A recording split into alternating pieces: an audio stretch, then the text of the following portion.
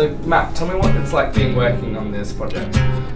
It's it's been it's been interesting. Um, I think this is the first time we've had characters in a game so involved in the development process.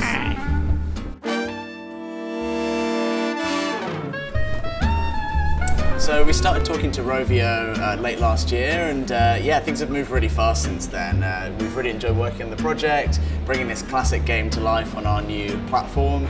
Uh, yeah, really great to just see it all come together. I think the team are really enjoying it. They're having a great time. Uh, yeah, Red has been around. That's been really fun. Yeah, Red's been joining our meetings. Uh, really just nice, calming presence. yeah, brought a friend with him even.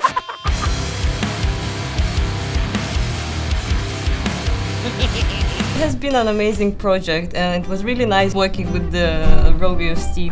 Everything has run very smoothly and uh, Red was helping me uh, a lot. It's nice to have him around. Um, would you say that you and Red have become friends? Hmm. Yeah, I would say so. I would say we became friends.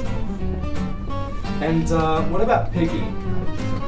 Red has been keeping him out of my way, but Matt not so much.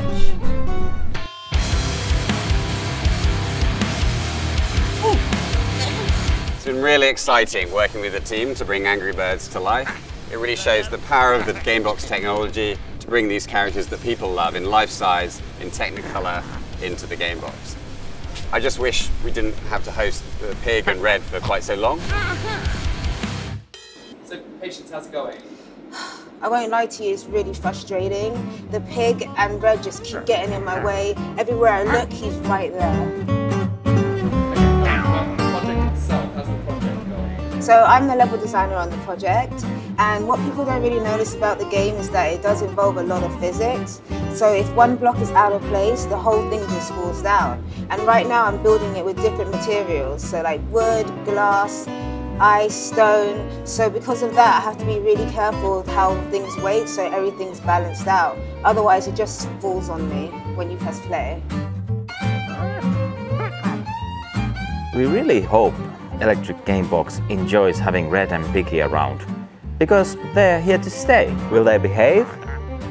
Well... So I think the really nice thing's just been the support we've had from Rovio. Just they've provided us with amazing art assets from the game, uh, just lots of kind of wisdom from their years of developing Angry Birds, uh, you know, for, for mobile, for all sorts of platforms. Uh, and then, yeah, really just working with fans then to test the game, get feedback early on. Uh, it's all just gone really smoothly. Uh, have you noticed any disruption? No, I think uh, Victoria and Patience have done a great job keeping everyone on track. So, nothing? Nothing at all? No, everything's great.